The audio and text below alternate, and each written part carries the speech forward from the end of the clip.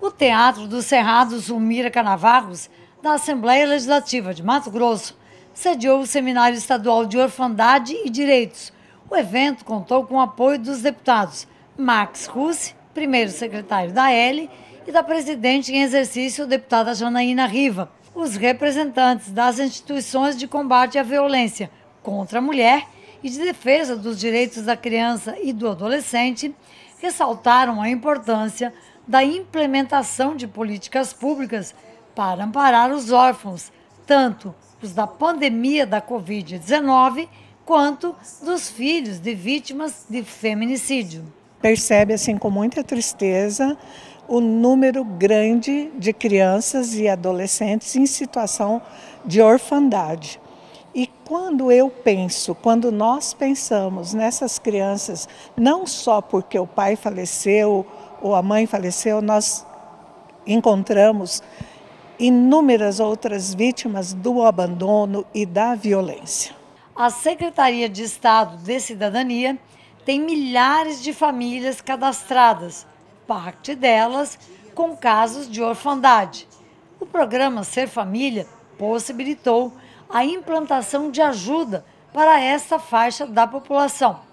A adjunta da pasta reconhece que as políticas sobre a orfandade devem ser ampliadas no estado de Mato Grosso. E esse seminário ele vai ser extremamente importante porque a gente vai poder pensar em conjunto com outras políticas públicas, né, é, ações, estratégias para poder melhor atender e proteger, que é o mais importante, proteger as nossas crianças. Acontece o feminicídio, o pai automaticamente estará preso, vai ser processado e essa criança, quem vai cuidar dessa criança?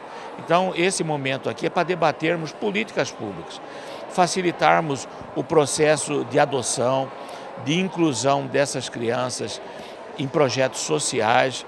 Então, é um momento que o Brasil todo está realizando eventos como esse para pararmos o município, o Estado de Mato Grosso, as secretarias, o Ministério Público, as entidades não governamentais, organizações ligadas às vítimas de violência, para debatermos um, um tema tão caro, tão importante para a sociedade brasileira e mato-grossense.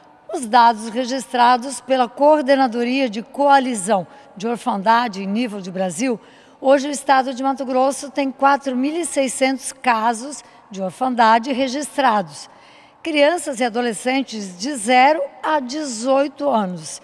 60% deles perderam pelo menos um dos seus cuidadores são casos que preocupam não só autoridades, mas a sociedade como um todo.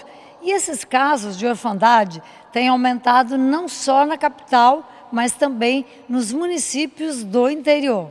O coordenador da Coalizão de Orfandade, Milton Alves Santos, mediou o debate durante o seminário em Cuiabá. Ele destacou alguns avanços para atender essas pessoas com estes problemas mas disse que os municípios brasileiros podem contribuir muito mais para atender essas milhares de crianças e adolescentes que, por algum motivo, se tornaram órfãos da sociedade. A gente tem três é, situações importantes, né, que foram tratadas inclusive nessa manhã. A situação mais comum, a gente tem chamado na coalizão de sobrecarga familiar. Então é aquele cuidador, aquela mãe, aquele pai que infelizmente perdeu seu companheiro, sua companheira e se vê sobrecarregado cuidando de muitas crianças, duas, três, um pouco mais, é, sem ajuda do poder público para garantir que essas crianças não entrem em risco social. Então essa é uma situação. Há uma outra, que a gente poderia até chamar de mais grave, em que infelizmente essa criança perde os dois cuidadores e tem um membro da família que pode até ajudar, mas que precisa de suporte financeiro muitas vezes para incorporar uma criança na sua família. Às vezes esse sujeito já tem uma família com filhos, precisa trazer essa criança, que às vezes é seu, é seu sobrinho, seu neto, e nós temos uma situação em que é mais, vamos dizer, é o desamparo absoluto, que é uma criança que perdeu todos os seus parentes, inclusive os seus pais, e essa infelizmente tem que ir para processo de acolhimento familiar ou institucional. Então, se a gente oferecer para essas famílias preventivamente proteção so social, saúde mental, acompanhamento para fortalecer a capacidade protetiva dessa família, é muito provável que essa criança se recupere com esta família rapidamente. Essa é uma boa notícia. Só que o Estado tem que ser rápido, ele não pode empurrar esse problema com a barriga. A família, ao longo desse, dessa década, ela se modificou bastante. Né? As mulheres acessando fortemente o mercado de trabalho, ah, eu diria assim, as famílias não têm assumido o seu papel primordial, né? Ah, na responsabilidade pela educação dos filhos. Tem ficado muito de educação para a escola, para o Estado, né? E o Estado cada dia mais alargando para cobrir essa área da proteção integral às vezes até de forma errônea, né? porque nós não podemos esquecer que a família é a base de tudo. Por isso, também no município, nós temos aí na assistência social um compromisso muito forte de fortalecimento das famílias. Música